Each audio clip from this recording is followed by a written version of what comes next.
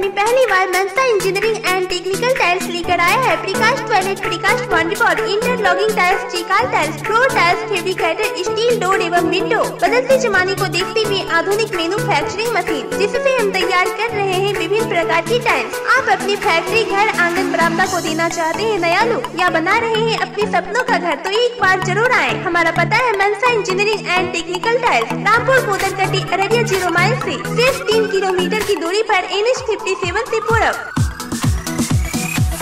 आज दिनांक 24 मार्च 2019 को कलावती स्नातक महाविद्यालय रानीगंज अररिया में इग्नो स्टडी सेंटर कोड छियासी ज़ीरो पंद्रह की प्रेरण बैठक आयोजित हुई। इस मौके पर मुख्य अतिथि regional director doctor Mirza Nehal Ahmad Baig, क्षेत्रीय निदेशक प्रकाश ओझा सेंटर समन्वयक जनाब एम ए एम मोजे महाविद्यालय के प्राचार्य जय प्रकाश मलिक सहित सैकड़ों छात्र एवं छात्राएँ उपस्थित रहे। इस कॉलेज के फैकल्टी मेंबर इंडिया के साथ और हमारे शिक्षार्थी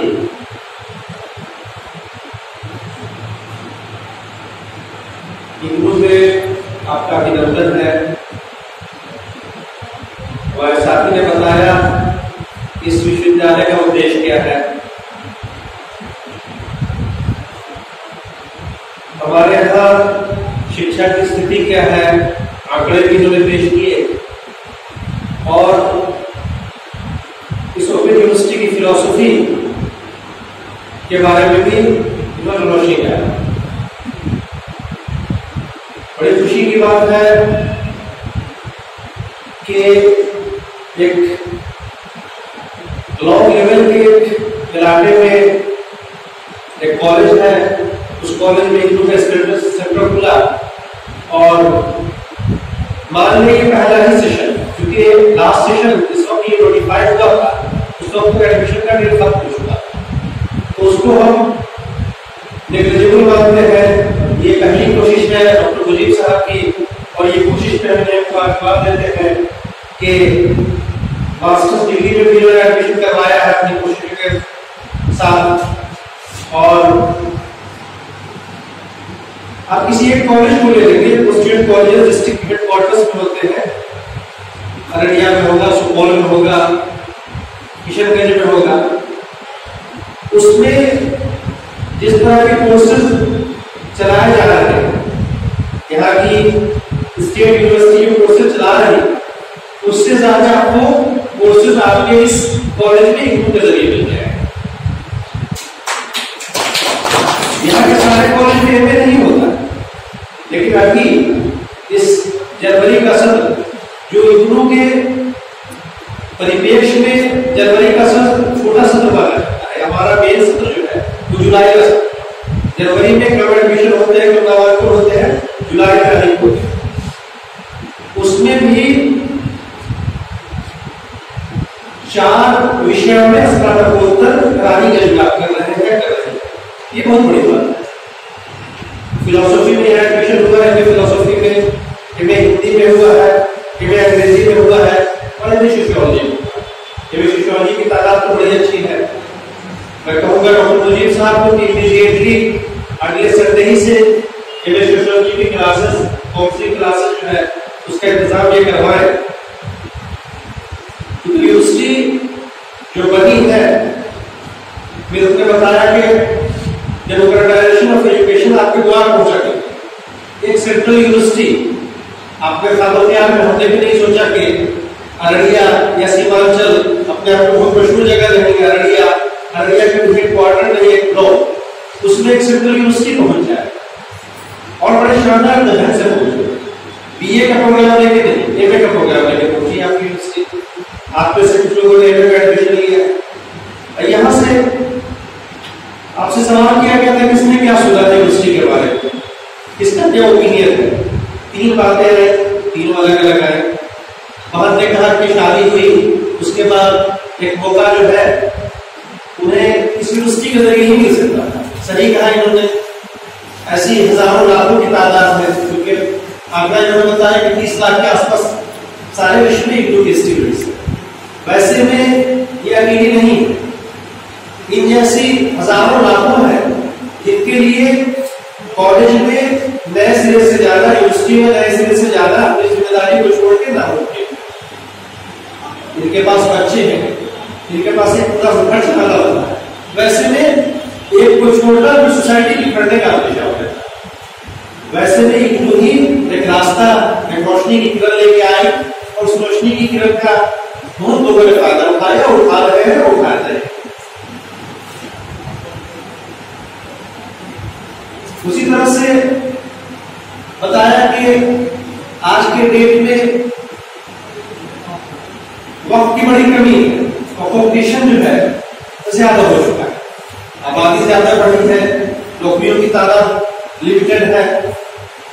वैसे में अगर कोई कहे कि पहले बीए कर ले। तीन साल वाला बीए का तो से यहाँ चार साल, पाँच साल में होता है। यहाँ यूनिवर्सिटीज में क्या की। वो बीए कर ले, जैसा वैसा बीए कर ले, उसके बाद दिल्ली में पढ़ता जाए, उसके बाद तैयारी किसी से शुरू करे कॉम्पिटिशन की तो फिर वो कामयाब नहीं हो पाता है जल्दी करना है और अच्छे ढंग से करना है। दो दो चीज़ें एक तो समय से करना है और क्वालिटी वाइज करना है। उनका भी जो उद्देश्य है ग्रुप एडमिशन का नामांकन का वो भी बहुत क्लियर है। के साथ साथ एक तो समय से भी ये हो जाएगा, तीन साल का भी ये तीन साल ही में हो जाएगा। और उसके साथ ही जो स्पेसिफिक मटीरियल होगा, जो अध्ययन सामग्री आपको मिलेगी, और इसके जो परीक्षा, जो इसका इवेल्युएशन है, उसमें जो दो दो चीज़ें हैं, आमतौर से हर जगह होता है। आपने जूनियर इंटर किया होगा या जूनियर एमए आपका एडमिशन है ग्रेजुएशन किया होगा एडमिशन लिया फ़र्स्ट पार्ट का एग्ज़ाम दिया एडमिशन लिया सेकंड पार्ट का एग्ज़ाम दिया। या उससे पहले एक और, आपकी परीक्षा से संदर्भ परीक्षा इसे कहते हैं, उससे पूर्व एक और अभ्यास करना पड़ता है। उसको असाइनमेंट कहते हैं, सत्रीय कार्य। वो सत्रीय कार्य जमा करना होगा आपकी अपनी लिखनी में जमा करना होगा और उसका वैल्यू होता है। आपके फाइनल रिज़ल्ट में वो बात जुड़ेगा आप प्रैक्टिस कर रहे हो। प्रैक्टिस की प्रैक्टिस है, अगले एग्ज़ाम की वो तैयारी नहीं है, और इसका वैल्यू नहीं है, आपके ओवरऑल रिज़ल्ट तीस परसेंट वैल्यू ये कोई दस परसेंट, पाँच परसेंट वैल्यू नहीं। तीस परसेंट वैल्यू है।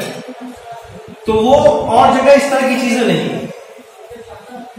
असाइनमेंट आप लिखेंगे, सवाल आपको दे दिया गया, सवाल आपने डाउनलोड कर लिया किताब आपके पास होगी। उसको आप लिख के फिर वो समय भी नहीं उस, उसमें आपको दे दिया गया जैसे आपका नामांकन अभी जनवरी सत्र में हुआ है। आपकी स्प्रांत परीक्षा जो होगी वो दिसंबर में। इसमें एम एस सोशोलॉजी की कौन सी स्टूडेंट आप में से? आप एम एस सोशोलॉजी में यूनिवर्सिटीज में यहाँ दिसंबर की परीक्षा में एमएसओ वन कब होगा एमएसओ टू कब होगा आज आप ये देख सकते हैं। उसी हिसाब से तैयारी करेंगे। तीस सितंबर।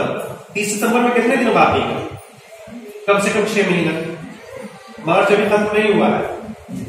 छह महीने बाद आपको ठीक तीस सितंबर को आपको असाइनमेंट जमा करना है। पूरा वक्त मिल गया। छह महीने में आपको जमा करना है, जिसका वैल्यू तीस परसेंट होगा उसमें आप इनसे मदद ले सकते हैं, उनसे मदद ले सकते हैं, किसी और टीचर से मदद ले सकते हैं, किसी और अपने मित्र से, अपने अपने परिवार वालों से जो जो सक्षम है इसके, उसकी मदद लेके छह महीने बाद आप एक जमा करेंगे आज यह विश्व का सबसे बड़ा यूनिवर्सिटी है। सभी लोग जानते हैं कि आज के समय में जो शिक्षा है, उसका बहुत बड़ा स्थान है। कोई भी समाज हो, कोई भी राष्ट्र हो, बिना शिक्षा से किसी की प्रगति नहीं हो सकती है। लेकिन आज जो हम शिक्षा का स्वरूप देख रहे हैं, वो आज से पचास आज से सौ वर्ष पहले शिक्षा का ये स्वरूप नहीं था। समाज के अनेक वर्गों को शिक्षा का अधिकार नहीं था। समाज में बहुत सारे ऐसे लोग थे, ये ज़्यादा पुरानी बातें नहीं है, ये तीस पैंतीस साल पहले की बातें हम आपको बता रहे हैं। समाज में बहुत सारे लोग पढ़ना चाहते थे, खासतौर पर महिलाएँ पढ़ना चाहती थी, जो हाउस वाइफ थी, जो घर में है। लेकिन उन्हें मौका नहीं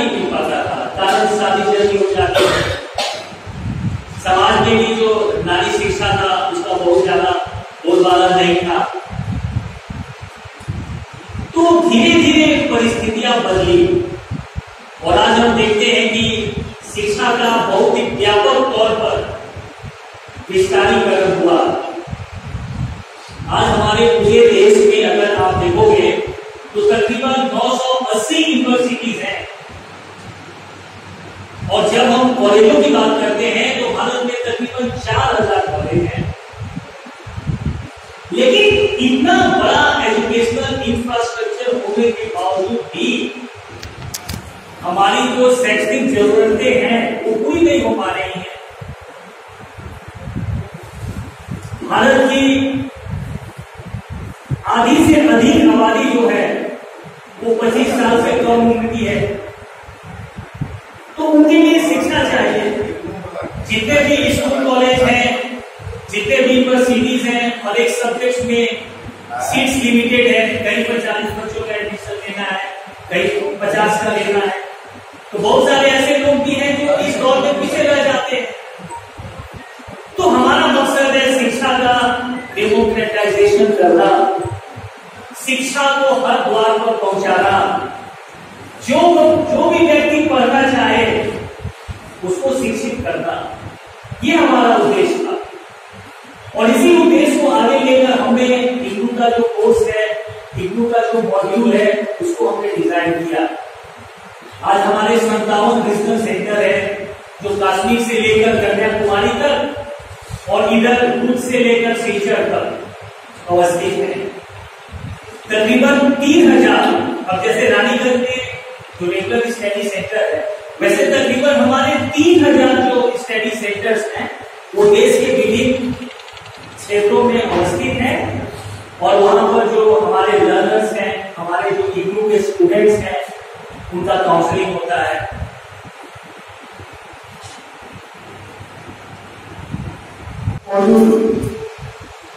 साथ साथ डायरेक्टर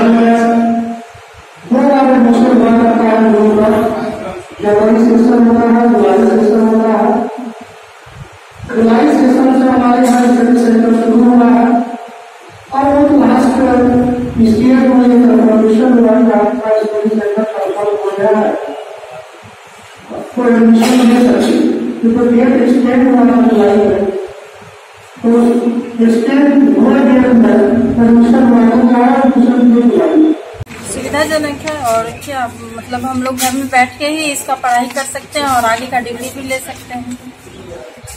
क्या नाम है आपका? हमारा नाम निधि शर्मा। हमारी है। हम शिक्षिका हैं। इग्नू से परमिशन लेकर इग्नू का करना चाहते हैं। मेरा नाम किरण कुमारी है। मैं एक शिक्षिका हूँ। परमिशन लेकर इग्नू से हिंदी ऑनर्स करना चाहती हूँ। हमें हम चाहते थे कि हम अच्छे से कॉलेज से अच्छे एक यूनिवर्सिटी से जो है ना अपना ग्रेजुएशन कंप्लीट करें इसीलिए मैं बड़ी एडमिशन और आगे बढ़ना कंपटीशन तैयारी करना चाहती हूँ इसीलिए हिंदी होना क्योंकि मैं ऐसे तो ज्ञान मंडल यूनिवर्सिटी से बी कर चुका हूँ।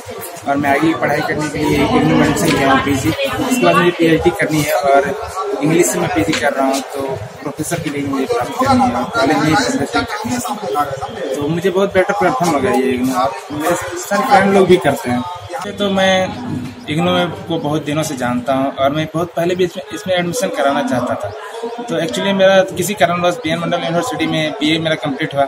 तो मैं पीजी के लिए इग्नू में एडमिशन कराया। पीजी करने के बाद मैं पीएचडी करना चाहता हूँ और उनके बाद मैं प्रोफेसर बनना चाहता हूँ। तो इसीलिए मुझे ये बहुत अच्छा और बेटर प्लेटफॉर्म लगा कि इसका सबसे बड़ी फैसिलिटी ये है कि जो टाइम टू टाइम इसका सारे कोर्स कंप्लीट हो जाता है। और सारे मटेरियल सब घर बैठे आप बहुत आसानी से सब कुछ प्राप्त कर सकते हैं और सबसे बड़ी बात तो ये है कि टाइम टू टाइम पूरा होता है, यही बहुत बड़ी बात है। मेरा नाम आशीष कुमार झा आज हमारा Indira Gandhi national open university के जनवरी 2019 सेशन का induction meeting Kalavati degree college Raniganj, Araria में हुआ। इसमें जनवरी 2019 के सत्र के जो नौ नामांकित शिक्षार्थी थे, उनका प्रेरण सत्र, ये इंडक्शन मीटिंग को हिंदी में प्रेरण सत्र कहते हैं। इसलिए एज अ रीजनल डायरेक्टर और हमारे जो ऑफिसर क्षेत्रीय केंद्र में है सहरसा से वो आए यहाँ पे। हमने पाया कि इस ब्लॉक लेवल के इस नए स्टडी सेंटर में, जिसे अभी छः महीने भी इसके स्थापना को नहीं हुए हैं, इसने अच्छा नामांकन किया है। और हमें आशा है, हमने ये अपनी अभी इंडक्शन मीटिंग में अपने कोऑर्डिनेटर को भी कहा और सारे शिक्षार्थियों को भी कहा कि जो प्रावधान है इग्नू में काउंसलिंग क्लासेस का, शैक्षणिक सत्रों का, उसका वो उपयोग करे। कोऑर्डिनेटर पर ज़िम्मेदारी होती है कि उसका इंतज़ाम करें। स्टूडेंट पर ज़िम्मेदारी होती है कि छुट्टियों के दिन या संडेज को जो कोऑर्डिनेटर ने सेशंस ऑर्गेनाइज किए हैं, उसमें वो आए। होता कभी कभी ये है कि कोऑर्डिनेटर अपनी तरफ़ से तो काउंसलिंग ऑर्गेनाइज करते हैं लेकिन शिक्षार्थी नहीं आ पाते हैं। तो वैसी स्थिति में एक काउंसलर को बुलाया जाता है, वो भी अपना सारा काम छोड़ के संडे को कॉलेज में आता है और शिक्षार्थी न आने की सूरत में वो नुकसान ही होता है। तो आज हमने अपने शिक्षार्थियों को कहा कि चूँकि तादाद बहुत अधिक नहीं है, नया सेंटर है तो वैसे शिक्षार्थी अपना एक ग्रुप बना लें और जब उन्हें आना हो कोऑर्डिनेटर के माध्यम से वो परामर्शदाता जो उनके काउंसलर हैं, उनसे भी संपर्क करके अपना डेट टाइम फिक्स कर ले अपने ग्रुप के अनुसार। और दो तीन चीज़ें और जो अहम हैं, वो ये कि एक ऐसी यूनिवर्सिटी हमारी है, जिसमें कई मायनों में दूसरी यूनिवर्सिटी से स्टेट और सेंट्रल यूनिवर्सिटी जो है मुल्क में, उससे भिन्न है। वो ये कि दो नामांकन सत्र हमारे यहाँ है, दो परीक्षा सत्र है। और समय सीमा बहुत ही डिफाइंड है। तय होता है, आज हम तय, आज हम जान रहे हैं कि जो अभी जिन जिन लोगों ने नामांकन लिया है उसकी परीक्षा दिसंबर में किस तारीख को शुरू होगी और कब खत्म होगी। उन्हें फॉर्म किस महीने में भरना है, उसकी अंतिम तारीख क्या होगी, वो सब आज हमने इस प्रेरण सत्र में सारे शिक्षार्थियों को बताए हैं। उनकी तरफ़ से भी सवालात हुए और इंडिविजुअल लेवल पे सबको गाइडेंस देते हुए हमने कहा कि अपना परीक्षा फॉर्म समय भरें द्वितीय वर्ष में जो पुनः पंजीकरण जिसको री रजिस्ट्रेशन इग्नू के पार्लांस में कहते हैं, वो समय करवाएँ। और सत्रीय कार्य जो यहाँ के महाविद्यालय और विश्वविद्यालय में नहीं है, वो सत्रीय कार्य असाइनमेंट इसका ओवरऑल एक वैल्यू भी होता है। फाइनल जो रिज़ल्ट आता है, उसमें तीस परसेंट वैल्यू उस सक्रिय कार्य का होता है, जिसको असाइनमेंट कहते हैं। उस असाइनमेंट के कब लिखेंगे और कब जमा करेंगे, कहाँ जमा करेंगे, ये सारी चीज़ें विस्तार से हमारे सारे शिक्षार्थियों को बताई गई हैं। हमें आशा है कि वो सब जो आज जो मार्गदर्शन किया गया, कि ये तो बस इब्तदा है और धीरे धीरे कोऑर्डिनेटर का भी नंबर सारे स्टूडेंट को हमने एसएमएस करके दे दिया है।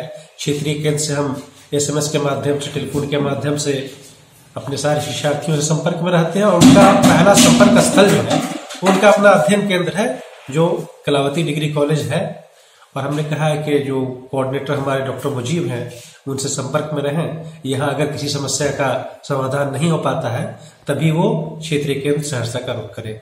धन्यवाद। डॉक्टर बेग साहब ने बताया कि आज यहाँ पर इंडक्शन प्रोग्राम था, और इसी सिलसिले में हम लोग यहाँ पर आए थे।